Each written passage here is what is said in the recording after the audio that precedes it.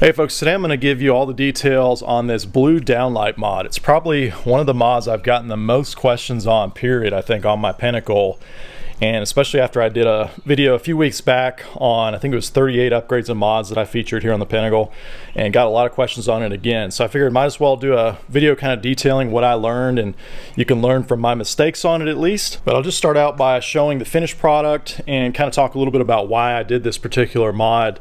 And the way I did it is I wired it into the BM Pro system under this awning one and step channel. So initially the Pinnacle came with this step light down here and then up top this awning number one both wired together in the same channel. And you know for me a lot of times at night after we go to sleep I like to have some lighting at my campsite you know for security or just if uh, critters around just to know what's going on. But you don't want to blind your neighbors and have that awning light you know shining down the entire night. So this is something I've done on the last couple rigs that I've owned, just had some kind of down lighting that's, you know, not too offensive, but yet puts a little bit of light down at your campsite. And so for me, that's why I changed it so that now on the BM Pro system, awning one and step is both the step light and the down lighting. So you can see as I toggle that on and off, it toggles the step light here and the new down lighting added. And then as far as the awning one that used to be there, I just went ahead and combined it to awning two. Because for me personally, most of the time, if I'm gonna have my awning lights on, I'll put both of them on at the same time. So that was my compromise. So then when I hit awning two, then up top, I've got my first awning light that comes on and then my second awning that comes on there. So that's under this awning two. And then again, awning one and step is the blue downlighting. And another cool feature or benefit of using the BM Pro system to control the downlights is that you can dim them. As you know, most of the lights are dimmable on the BM Pro system. In fact, on mine, it's all of them except for the rear accent inside. So that's kind of a neat feature because then at nighttime, again, if I don't want those blue lights on full on, I can kind of dim them down a little bit and they get pretty dim. I mean, right now you're not really seeing much since it's daylight, but I'll try to put some video up later at night to demonstrate just how dim you can go and what that looks like on the dimmest setting. But it's kind of neat that you can do all that still through the app. Now I really would love to be able to change the names on these channels, but as far as I know, BM Pro doesn't let you do that. I think that's something they have to program. However, if you're watching this and you know a way to change the names of these channels, then definitely drop a comment below. Now I'll give you some close-up views of what it looks like underneath. You can see I just ran the full length of the drop section of the I-beam, which is for me right about where the door starts, my entry door, and then all the way up there to the front. And of course did it on both sides. And then if I get a little bit closer to the strip, you can see these are about, the individual LED lights are about 3 fourths an inch apart between each one of these, the little diodes. And then they're pretty bright. I mean, you certainly can get brighter lights, but there is a limitation with the BM Pro system that you can only have so many watts or so many amps per channel and then you get an error message and that's one mistake I made. I had initially bought a different strip of LED lights and then before I actually wired everything and I kind of just dry fitted everything and tested it and I noticed as soon as I put both sides on the channel, this side and the other side then I'd get an error message on the BM Pro system and it would cut the power. And it, I think it was a pretty generic error message if I remember right. I don't think it said you know you're over the wattage or over the amperage or anything like that. I think it was you know pretty generic and just said hey you need to service your uh, your node there. And so what I realized is it was detecting that it was drawing too much on the amperage, too many watts. And so I had to go with a slightly different LED strip that wasn't quite as bright or at least didn't consume as many watts on it. And so I'll put a link to that particular strip in the description below, but that was definitely one mistake that I did not know that there is a limitation. And still with this strip, even though it's not as bright as the original I had, it is plenty bright. I mean, you know, certainly could get a brighter strip, but really this one serves the needs just fine. All right, well, let me give you all the details and kind of share what I learned in the process of doing this mod. So first thing I did is investigate this blue step light down here. And like I said before, this blue step light from the factory, from Jayco, is wired into awning number one up there. They're both on the same channel. So if you hop under the coach right here, we're right, you know, under the entry door essentially. If you hop under, then you can see we're on the back side here of that blue LED step light. And so here's our skirt board right here. And there's our blue LED step light. So from the factory, everything that I'm holding in my fist essentially is what I added with this mod. So if you go and look at yours before the mod, you're going to see basically everything that's visible that I'm not hiding right here. So you've got your lead coming off of that blue step light, what's feeding it, the power and the ground or the negative there. And then up here, you've got these three wires and that's it. So that's all that was here originally. And you can see you've got two two wires that have it's kind of like an orange wire with a white stripe and they're both the same and then you've got a plain white wire with nothing on it so typically your plain white wires are going to be your negative or your ground you know 12 volts just positive and negative basically red and black so this is going to be typically your ground and then these two are the same so one of these wires is 12 volt positive coming from the BM Pro node. So in other words, when you switch the BM Pro node on and off, it's sending 12 volt power through one of these wires. The other one that's the same color here, this one then runs to awning number one. And so that's it. You got your 12 volt positive, your awning number one, and then your negative or your ground right here. And so originally there was just a kind of like a butt splice right here.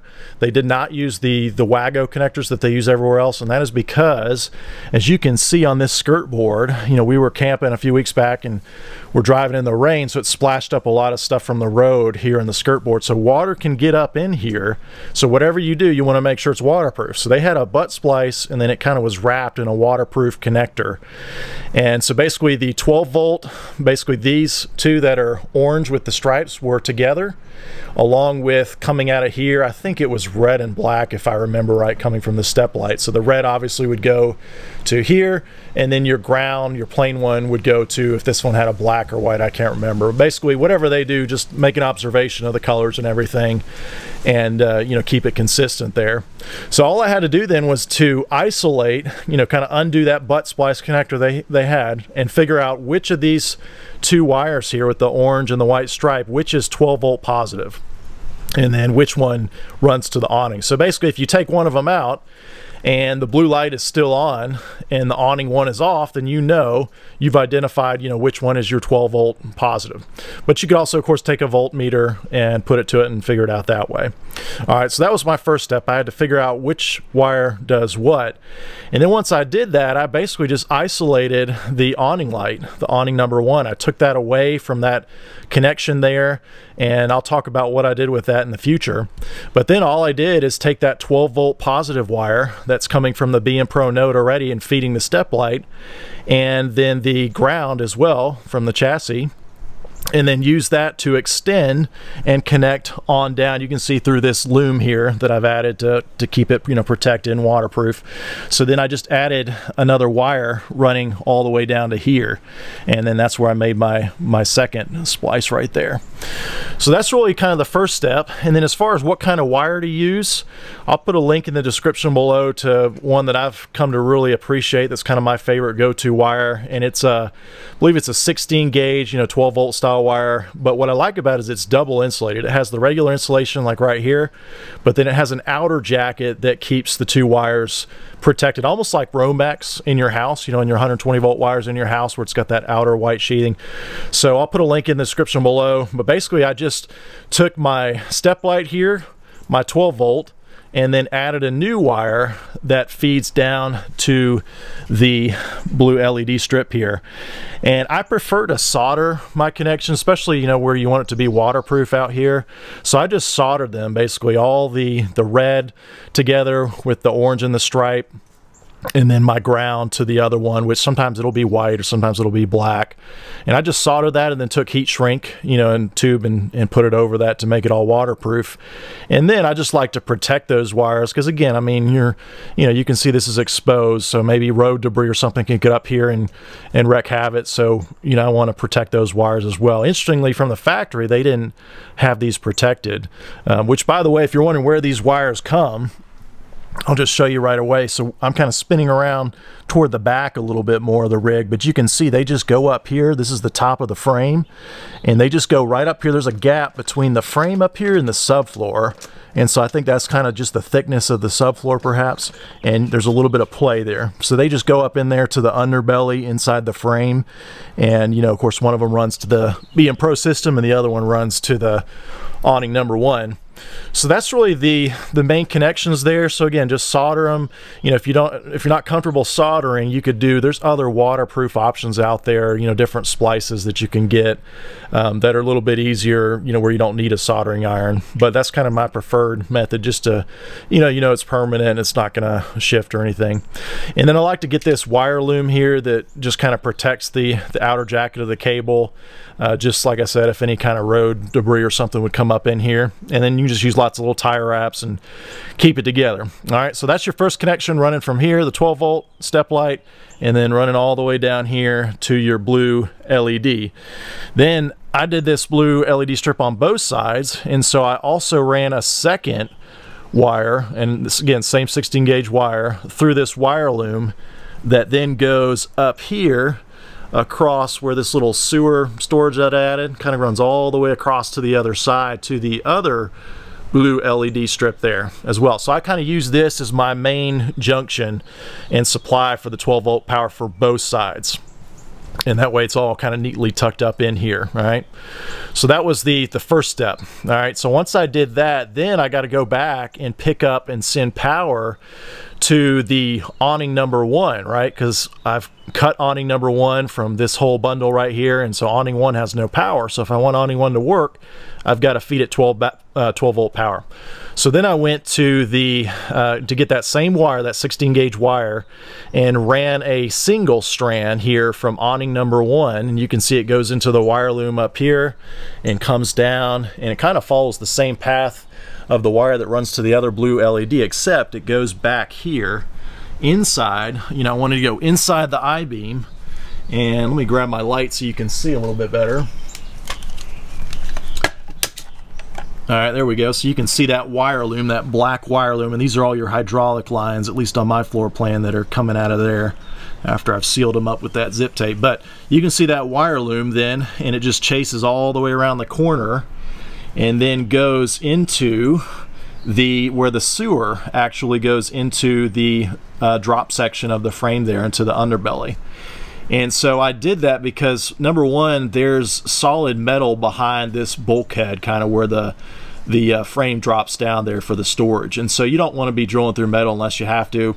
So it was real easy just to kind of slip that single, you know, strand of wire right through where that expanding foam is, right where the sewer goes. And that's actually the uh, let's see, that's going to be the gray tank actually. Yeah, it's got a smaller one.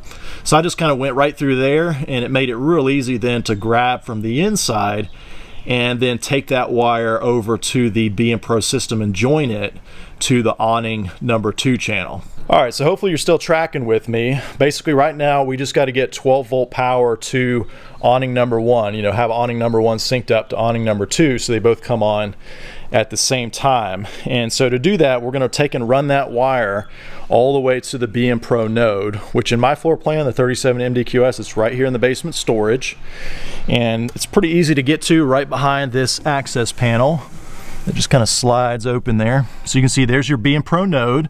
And for those who don't know, it's just like a giant switch basically that's you know, supplying 12 volt power to the different channels as you call for it. So everything from lights to your water pump to slides, this is basically just switching and sending 12 volt power, you know, to those individual channels. All right, so if we look back here though, and we go all the way back to down here, you can see that expanding foam down there. That's where the gray tank uh, sewer drain comes out, that PVC pipe that we were looking at on the other side of this bulkhead. That's where it, it comes out. And then you can see there's a white wire that traces right through that expanding foam right here. And that is that same white wire that I fed there from the awning number one. So that runs all the way out here and then you can pick it up again down here. All right, and then that's gonna run all the way over to here where you can see I've got a, another WAGO connector right here. So basically this orange one that you're seeing is awning number two. And so I'm joining now awning number one, which is this red wire, to this orange, which is awning number two, and then doing a short kind of a leader that runs to the actual channel on the BM Pro system. So I think if I get close enough, hopefully you can read that where it says awning number two. And so I just added that little leader. I basically took the orange wire that was right here, which was in the BM Pro channel up here, pulled it out, added the little leader in here and then joined the orange and the red down here coming from awning number one together using those Wago connectors. I really like these Wago connectors a lot by the way. Jayco, this is the first fifth wheel that I've ever had that uses them throughout consistently. I mean, everywhere I've worked, I find these Wago connectors as opposed to those kind of crimp splices that all the other brands seem to use. And I really like these. I think they're a little more foolproof. They're definitely easier for, you know, doing mods and stuff. And uh, they're a little more dummy proof. So, I mean, you can't really mess these up. Whereas the crimp splices, you know, if you don't crimp it hard enough or you don't crimp it the right way, they can kind of wiggle themselves loose. So really like that. But that's basically all it is, is just making that channel connected there for awning number two so that it feeds both of them. And so with that connection made now, when we hit the awning number two button there, you can see it turns on awning number one and awning number two here. All right, and so that connection then is made. And then of course we have our step our separate awning one and step light there.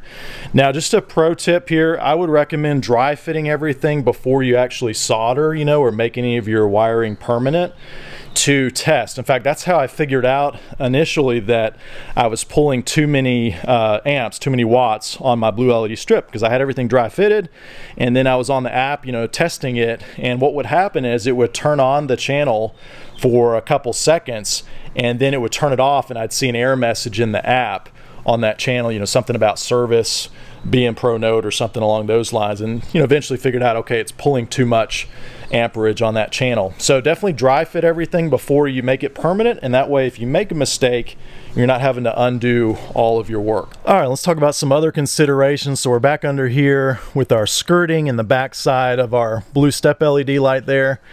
And so again this is where the 12 volt from the BM Pro system feeds into the step light and then our newly added two wires running to both sides of the blue downlights there. So you can see one going inside this wire loom right here and then it kind of comes out right here to the first LED strip and then it continues on to go to the other side there to feed the other blue LED strip. But basically the LED strip itself is just going to have a uh, two wires. Again, usually they're black and they're red. So then, you know, red is typically your positive, your 12 volt, and black is typically your ground. But again, just dry fit everything first to make sure that you got it. And what I did here is of course, I covered everything in the wire loom, and then you can see some heat shrink there too to protect everything because these wires are very uh, small gauge, very low gauge, very thin, super easy to damage. So I wanted to protect these because they're they are kind of exposed, you know, right here. I mean, you've got a jack right next to them, but they're still kind of exposed to the road and everything. And so I went ahead to go protect those. But then I also came back, and this is something that I've learned more recently to use is uh, liquid electrical tape that you can can kind of almost like paint on to the wire and almost build up a thicker insulation for it. And so that's what you're seeing, all this black that's just kind of molded around the wires. And I'll try to get you as close of a view as I can. But basically that just protects. So I mean, I came back here with, oh, maybe two or three coats over time and just kind of built it up to thicken this connection up to make it, you know, more durable uh, and resilient so that if something did come in here, it would be a little bit more protected. And then that basically, those two thin wires, the, the black and the red that are feeding into the LED strip, that's what's feeding it and of course giving it power there. And then it's the same story over here on the driver's side. So now we're on the outside of the I-beam. You can see my sewer connection out here and this black loom right here is where the other side is fed here on the blue downlighting. So basically this loom, you can see it goes up there and runs to this sewer storage ad and I basically use that kind of as a path to route the wires and then it hooks up of course to the other side over there. But it's the same story over here. You know, I just used some of that liquid electrical tape and some shrink tubing to protect these wires here, beef them up a little bit and make sure that they were protected. And of course you can use tie wraps, zip ties, you know, all over to, to keep everything secure so it doesn't go anywhere. Now let's talk about actually mounting the LED strips. So they come in a 16.4 foot long length each one. So I had to buy two of them of course and then I just cut it to length and I'll show you what that looks like. They have little cut points where you can safely cut the LED strip. But I think my length ended up being closer to maybe 13 feet or so and you can see down here I started it right where the I-beam starts down below and then I ran all the way to the front, basically right up to that jack, more or less. And so I think, again, that ended up being closer to 13 to 14 feet for me. So uh, double check, depending on the floor plan you have, you might have a greater distance on that I-beam or maybe it's shorter, you know, because really I'm just using the I-beam as my reference point for where to start and then where to, to terminate it there. But let's take a look here underneath and I'll show you kind of how they mount up under here. So these strips come with an adhesive backer you know, I don't know if it's 3M or just a generic, but just a peel and stick backer on it. So first thing I did is, you know, of course, dry fit everything, test it, make sure everything's working. And then I actually went through and, you know, soldered everything and made it permanent. And then the very next thing I did before I actually mounted this is you want to uh, you want to wipe all this down. This is, you know, exposed to the road, and so right now I can feel it's just really grimy from different things getting spattered up on that bottom side of the I-beam. So you want to wipe that down. So I just used some alcohol and wiped it down real good to make sure it's nice and clean so that that adhesive on the LED strip has something to bond to, you know, permanent. Because the last thing you want to have happen is for your strip to be, you know, flying in the in the wind down the highway and it's coming off, and people are honking at you because you got something, you know, dragging behind. So definitely wipe down the underside of the I-beam, and then you know I just kind of carefully peeled off about oh maybe 12 to 16 inches at a time, and just kind of you know pushed it and made sure that that it's a you know pressure sensitive type adhesive. Made sure that it's firmly adhered to the underside of the I-beam. And I just went on the kind of more the outside you can see of the I-beam. You can see how thick the I-beam is down here at the bottom and I kind of favored this more toward the outside. And the reason I did that is if you go further down here, you can see you've got a quick connect down there and so that's kind of toward the inside so if you you know favor the inside you're going to run into that quick connect whereas if you go on the outside you pretty much have a straight path all the way front to back there. And then as far as cutting the LED strip to length, you know, most of these strips are kind of all the same. If you look at them real close, they have these little lines designated periodically and some of them have like a scissor icon on them. This one looks like it's just kind of plain there. But basically, a lot of times you'll see almost like little circles on either side of the line right there. And they're almost like where the circuit board you know connects one I don't know what you call them kind of module to another module. But that's where you can safely cut along one of those lines. I mean if you cut it right in the middle here or even between a diode just randomly it could break the entire LED strip. So you got to cut it on one of those designated points so all that to say, you can say I ran mine pretty much all the way to the front of the I-beam here. This is my my propane hose uh, running to the uh, the generator there. And so that's where I cut it then. And then a couple other precautions that I took. I don't know if you can see in the video, but I mean, it is really grimy under here. I can just feel all the road debris, little particles of dust and dirt that have gotten up here on the I-beam since I installed it. And so my thinking was last thing I want to have happen is for that adhesive to fall to fail you know, on the underside of the strip and you've got something hanging. So a couple other precautions I did is I came periodically and you can see where these kind of blacked out sections are. I kind of went right between two of the diodes, two of the, the little LED lights. And I actually used this same zip tape that you're seeing over here that's sealing up my underbelly to the, the I-beam. So I just kind of came and cut some thin strips of that zip tape that were thin enough to fit between the two LED diodes and kind of ran that the full width of my I-beam here. And I did that every, oh, looks like about 16 inches down the full length of the LED strip. And that way there's something else that's holding it there. You know, this zip tape is really sticky and tacky. I mean, it's it sticks to just about anything. So I figure, well, that'll kind of give me a little extra insurance. But then the other big thing I did is after I got everything all, you know, mounted and, and installed and everything was working, I came back with some silicone.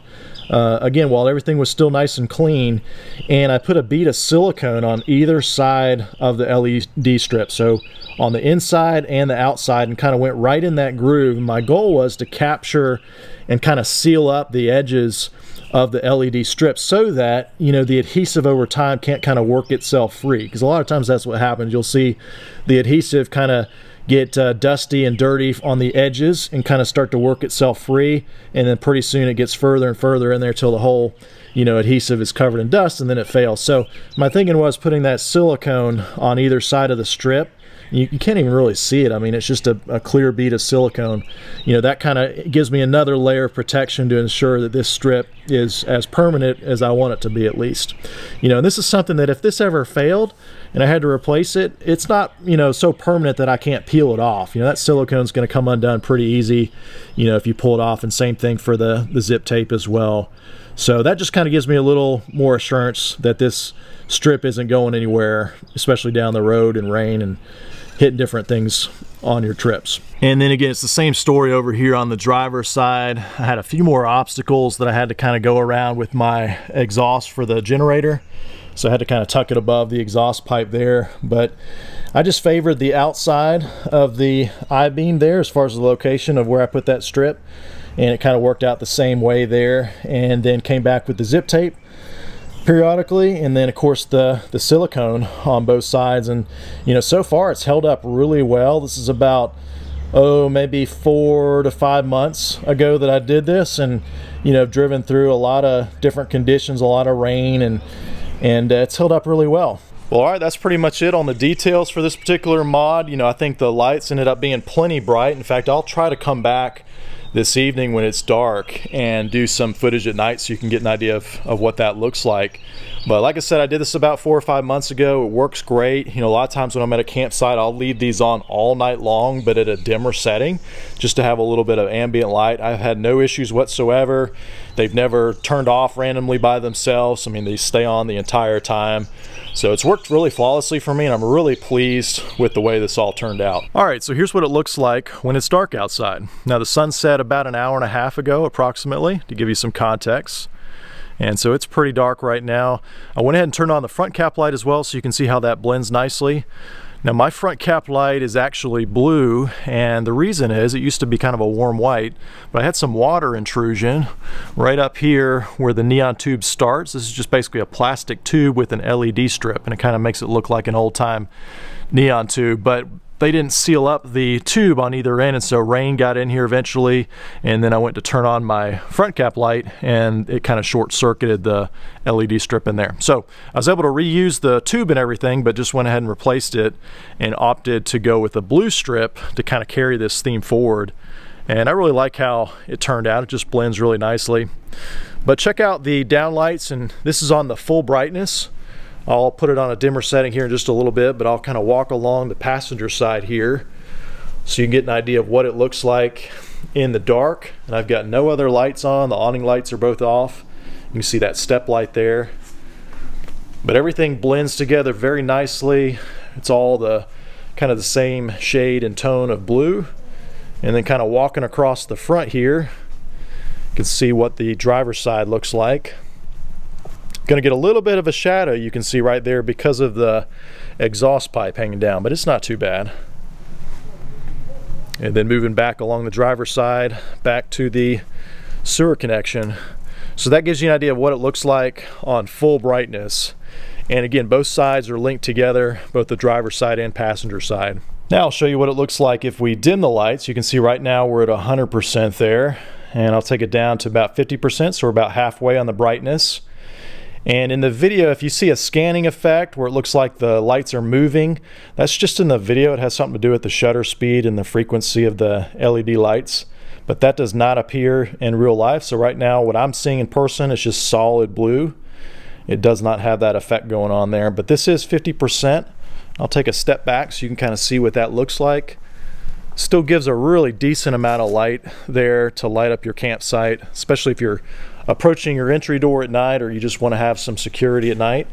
Let's go ahead and go all the way down to the lowest dim setting, the lowest brightness. All right, so that is all the way down at the most dim setting. And you can see in the video, I think the exposure is trying to compensate, so it probably looks a little bit brighter than it does in person, but it still casts a good bit of light here to light up your campsite. I mean, if I was approaching to come on inside my fifth wheel at night, this would be plenty of light for me to see and not trip on anything. And then I'll just show you what it looks like underneath here, you can see the actual LED strips. So again, we're at the lowest brightness right now. And then if I go ahead and take up to the highest brightness, show you again what that looks like underneath. Nice even blue light all the way across. And now I'm coming at you from the opposite end. I'm standing at the rear of the fifth wheel, looking toward the front. Now I'll turn on the awning lights to kind of give you an idea of what that looks like when they're both on together. So you can see the awning lights are quite a bit brighter. They really light up your campsite compared to the down lights, which are a lot more subtle down there. And so that's why I really like having those at nighttime for some nice ambient light without, you know, blinding your neighbors. So we'll turn off those awning lights again to compare the difference. Now, also mention you can do any color really on the downlighting. You know, I just picked blue mainly because of the existing step light that was already blue. And then of course I like the color blue and carried that theme forward here on the front cap. But it's just a personal preference. The strips that I bought down here, they have some other colors that you can choose from. They have a warm white, they have a kind of an amber orange color. So really just your personal preference there. And I'll put affiliate links to Amazon for those specific products that I bought in the description below. So I appreciate y'all using those to support the channel. But that's pretty much it on the downlighting mods. It's definitely one of my favorite mods visually. So I do hope this video is helpful to you. But if you have any other questions or if I left out any details, don't hesitate to ask in the comments below. And as always, thanks for watching.